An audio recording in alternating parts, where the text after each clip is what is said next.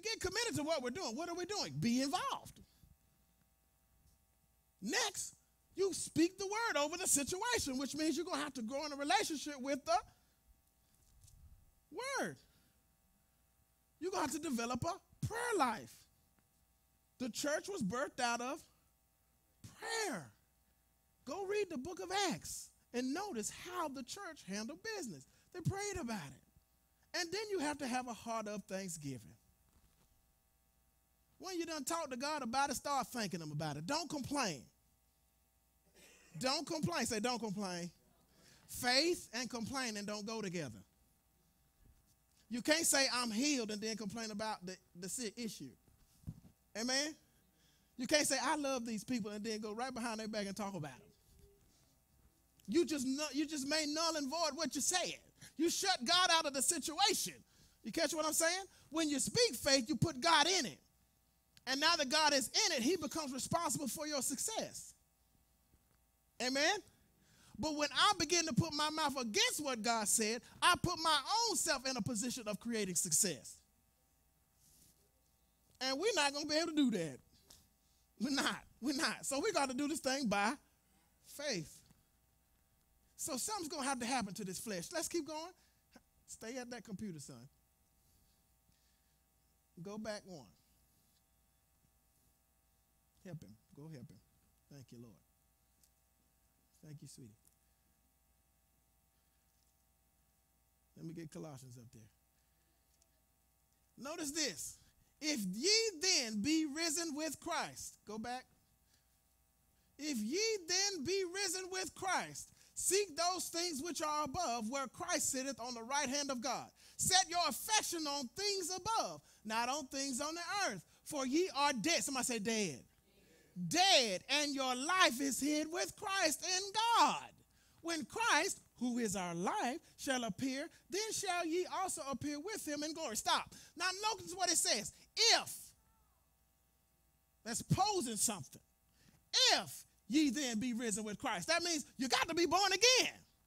For this to work, you got to be born again. The kingdom is not going to operate without being born again. My sister says it all the time. She talks about it this Wednesday in her class. You must be born again. If you want to see the kingdom of God, you must be born again. So if you are born again, then you are risen with Christ. Now, what did I say Christ did? Christ died on the cross. And what did Christ nail to that cross? The flesh, right? So if Christ nailed it to the cross, and I believe in Christ, and I'm risen with him without that flesh issue, seek those things that are above, because you are now a spirit being, alive to God. It says, set your affections. That means to gauge your aim, set your opinions on things in heaven, not on things on earth. For ye are what? Dead. You died on that cross to your flesh. Say, I died on the cross to my flesh. So, what does that mean about my feelings? I died to my feelings. Somebody hurts your feelings? Give it to God. Don't open up your mouth and start talking about them, beating them up with your mouth, cussing them out, kicking them out your life, all that. Give them back to God. And you move on with your life.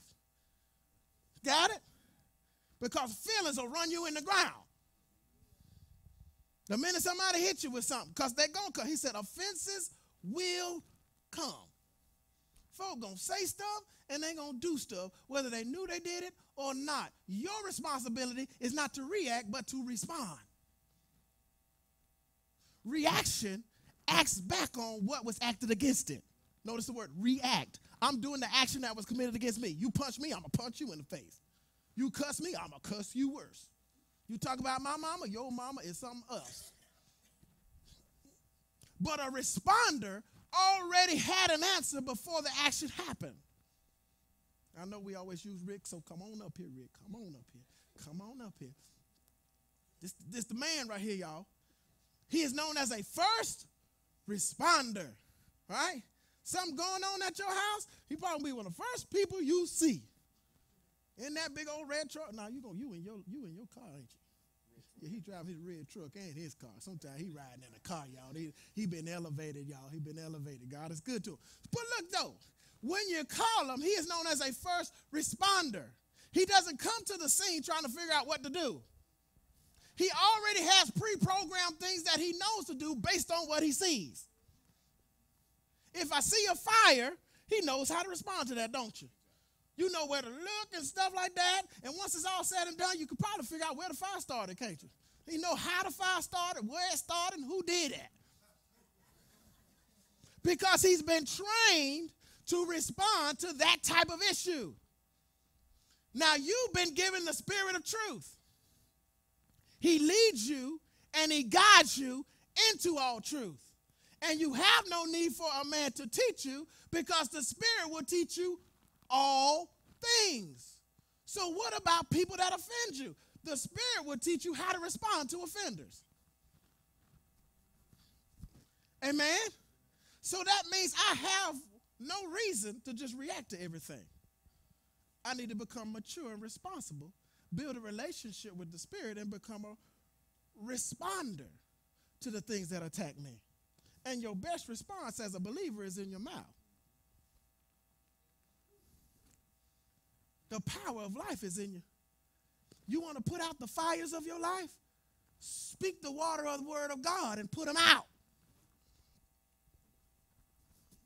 This is good preaching, brother. I'm telling you what. But this is a first responder.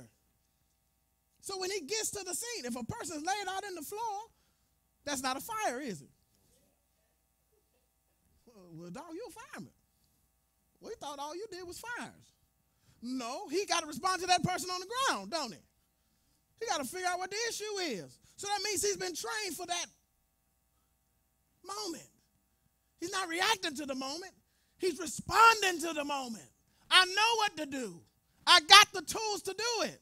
Do the job. Thank you, sir. Some of us are looking at our issues and we're complaining about them.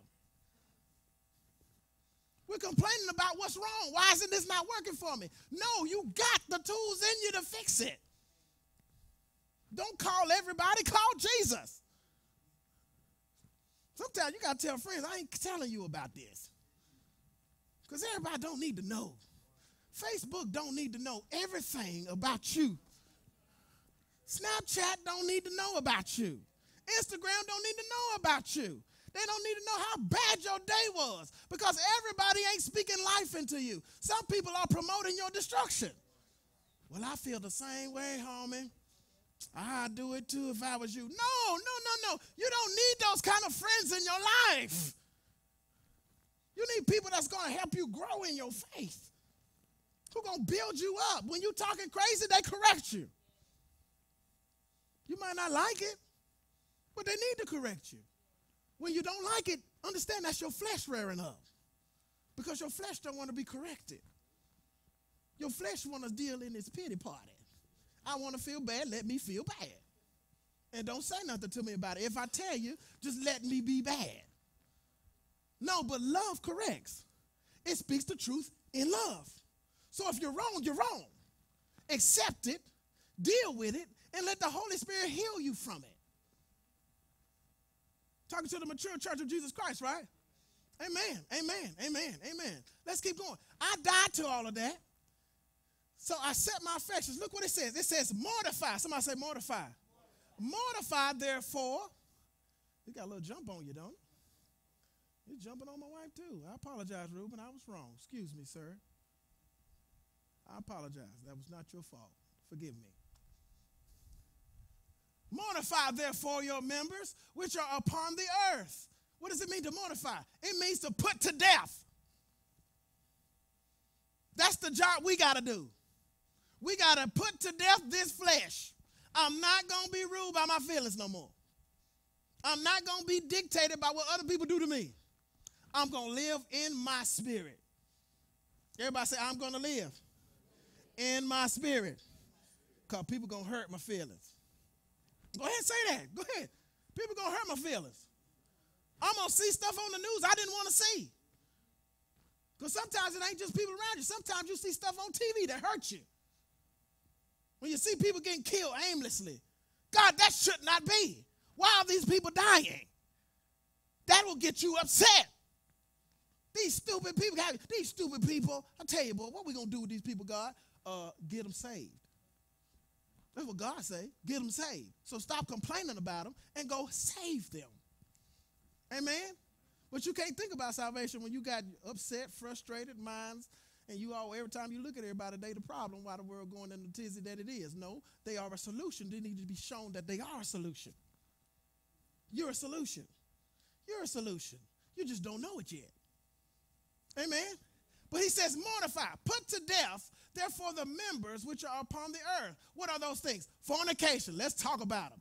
Uncleanness, inordinate affection, evil concupiscence, and covetousness, which is idolatry. What is evil concupiscence? Y'all saying, what in the world is that? I don't know what that is. That are evil, strong desires, evil, strong sexual desires. That's what it is. Pornography, adultery. Yep, all that stuff. It's wrapped up in that. It's idolatry. Why? Because you are putting that as a pleasure above God. You're saying the only way I can fix my problem is through pornography. The only way I can fix my problem is through a drug. The only way I can fix my problem is through having another person in my life, or having money, or having this. Those are the lusts of the world. Is everybody catching what I'm saying? And these things are usually promoted when you get disappointed. When a person gets disappointed, that's when they fall into these the most. Or when they're idle, when you don't have anything to do. Idle time is the devil's playground. My grandma used to say, yeah, idle time, devil playground. Why? Because you don't have anything on your mind. That's why I said, set your affections on things above. Because God will always have something for you to do. But when you don't have nothing to do, you give yourself over to these things, for which things sake the wrath of God cometh on the children of disobedience, in that which ye also walked sometime when ye lived in them. Now, notice what it says. It says, The wrath of God cometh on the children of disobedience. Now, this can be thrown into so many tears, so let's, talk, let's go ahead and put it on out there, okay? God is not killing people, okay? God is not killing people. God's wrath is what he has already spoken concerning disobedience. Is everybody with me? Deuteronomy 28, when he speaks about the blessings and the curses, he tells you about it. Romans 1, when you read Romans 1, he tells you what happens to the children of disobedience. When you don't obey God, he gives you over to a reprobate mind, a dark mind who has no conscience of the life of God. And when you get a reprobate mind that has no conscience of the life of God, you begin to pursue evil lusts. Men begin to sleep with men. Women begin to sleep with women.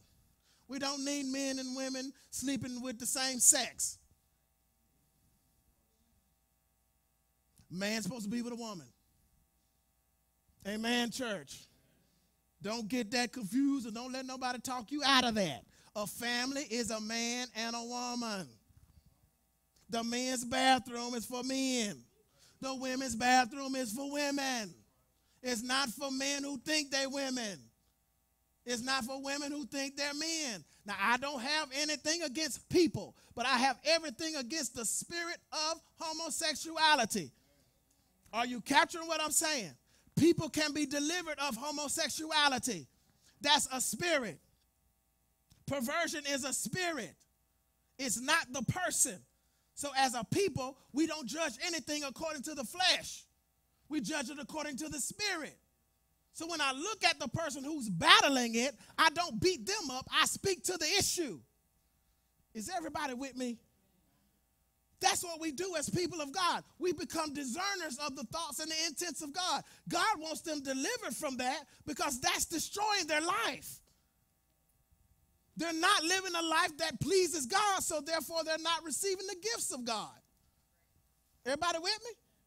That's your stance. Amen. Think about it. Lock it in. Talk about it. Because the world is getting darker and darker, and people are doing crazier and crazier stuff, and folk gonna look at you and say, What you think? And he said, You're supposed to have an answer for the hope that lies within you. I don't agree with it. I don't hate the people, but I hate the spirit that they are of. So, in order for us to do that, we got to do something with our own flesh. You got to do something with your own flesh. Because your flesh gonna want to real and say, you know what I think? I think they ought to. Oh, shut up. Be quiet.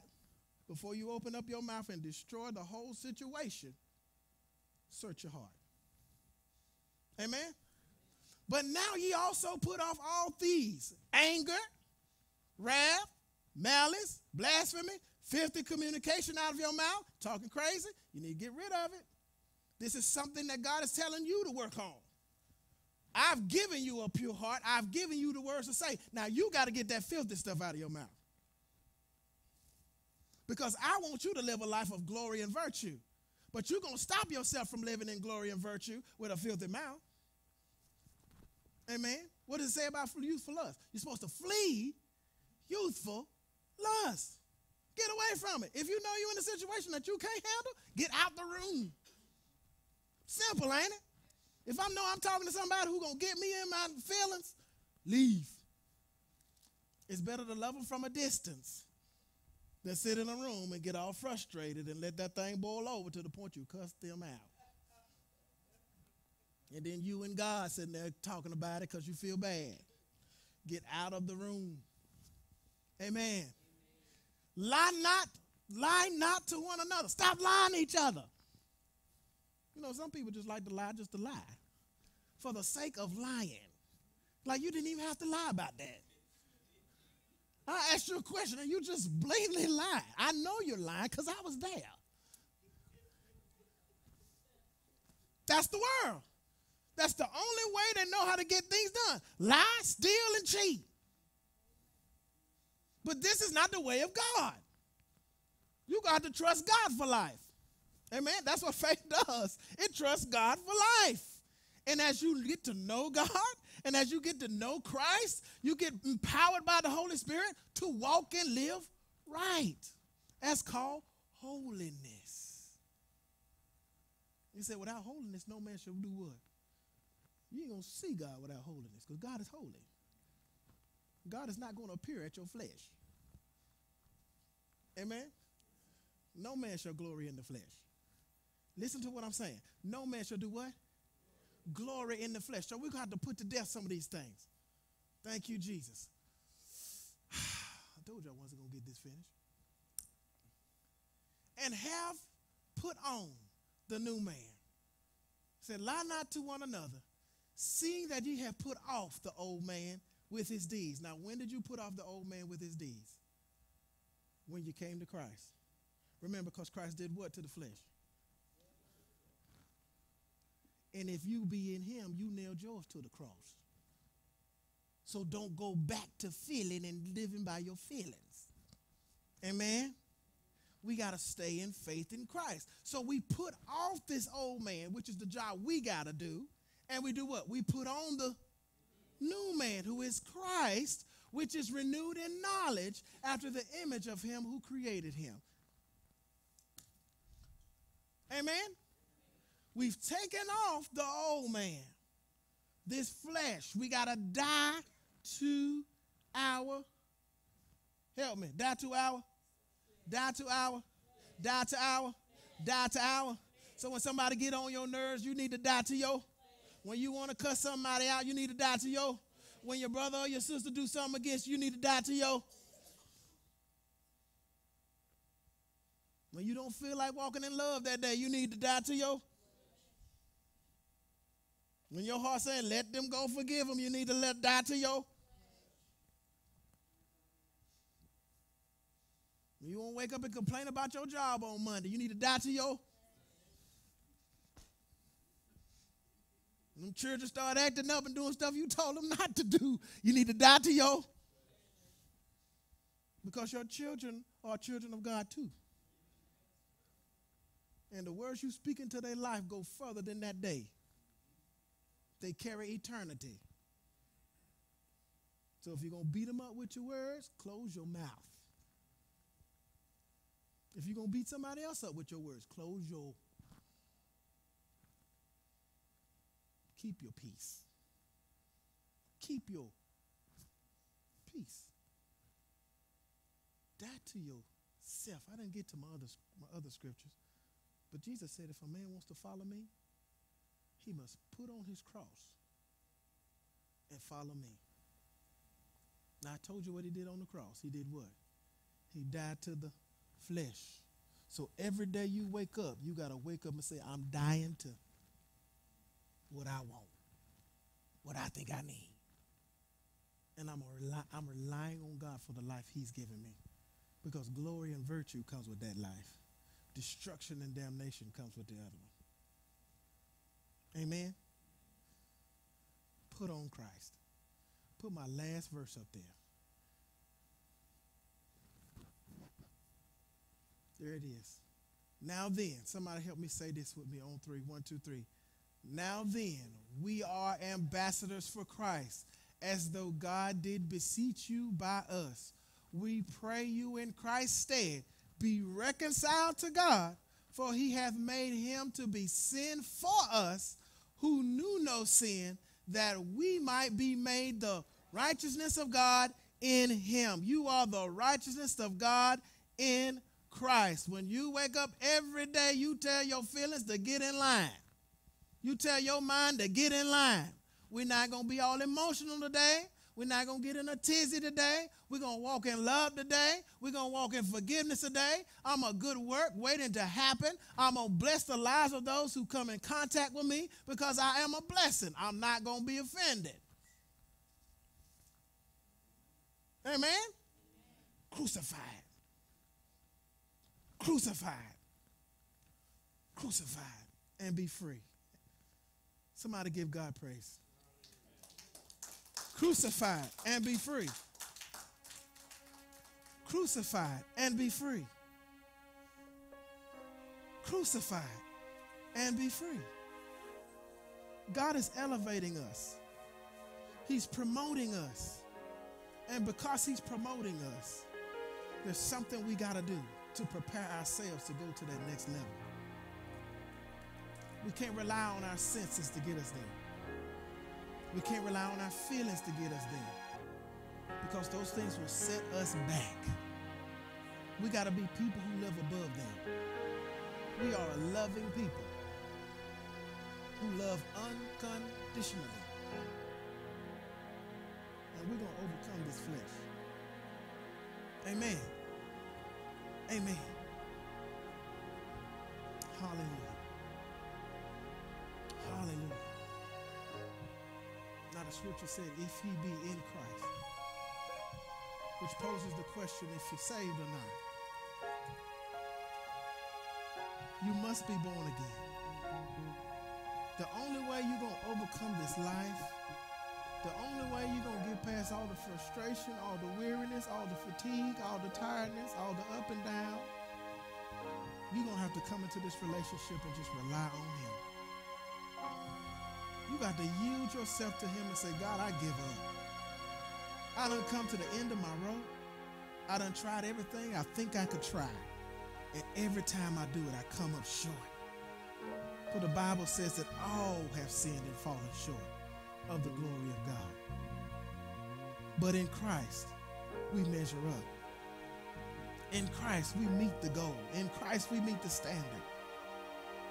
So I want to invite you, if you have not made Jesus Lord in your life, or if there's things in your life that you've kind of walked away from, you say, God, I, I, I walked away from this and I, I haven't committed myself totally to you. I haven't committed myself totally to your word. And I've allowed these issues in my life to override who I am.